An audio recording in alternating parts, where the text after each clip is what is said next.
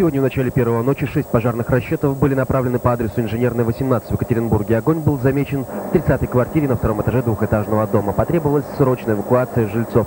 Впрочем, самим обитателям этой квартиры, известным в районе Выпивоком, к приезду пожарных и скорой ничего уже не угрожало. Двух спящих мужиков вызволили из объятой дымом квартиры двое не спящих самоотверженных, хоть и немного хмельных прохожих.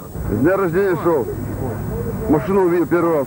Вот этого человека поймал, как зовут тебя? Костя. Вот Костика поймал. Вот мы с трех человек вытащили оттуда. Свет нигде не горел.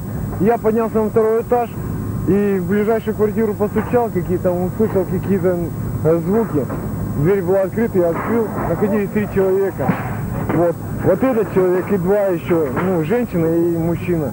Есть все-таки в жизни место подвигу, и хоть пожарные прибыли довольно быстро, огонь перекинулся даже на крышу барака. Если бы не эти двое храбрецов, обитателей злосчастной квартиры в ближайшее время точно можно было бы увидеть на кладбище. Ведь именно во сне в дыму больше всего и гибнет людей на пожарах. Кстати, причина этого возгорания также весьма необычна, как чудесное спасение его героев от неминуемой гибели. Как свидетельствуют некоторые очевидцы, спящие обитатели квартиры забыли закрыть входную дверь, и к ним вошел некий маловозрастный хулиган. Не то из шалости, не то из врожденного садизма подросток и запалил квартиру. Однако эта версия вызывает законный вопрос. Если хозяева спали, кто ж тогда видел момент поджога?